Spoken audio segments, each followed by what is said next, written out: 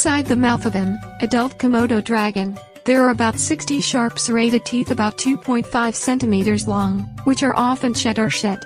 Komodo has a long yellow or brown and forked tongue. Komodo dragon saliva is one of the things that is often discussed by many people because most people think it is poisonous like snake venom or poisonous lizards and even considers that there is no medicine either to prevent or neutralize the poison.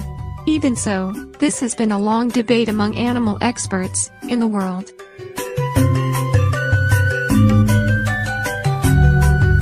Komodo dragons can see up to 300 meters, but because their retinas only have cone cells, these animals can't see very well in the dark of night. Komodo is able to distinguish colors, but not so good at distinguishing objects that are not moving. Komodo does not have a sense of hearing, even though it has ear holes.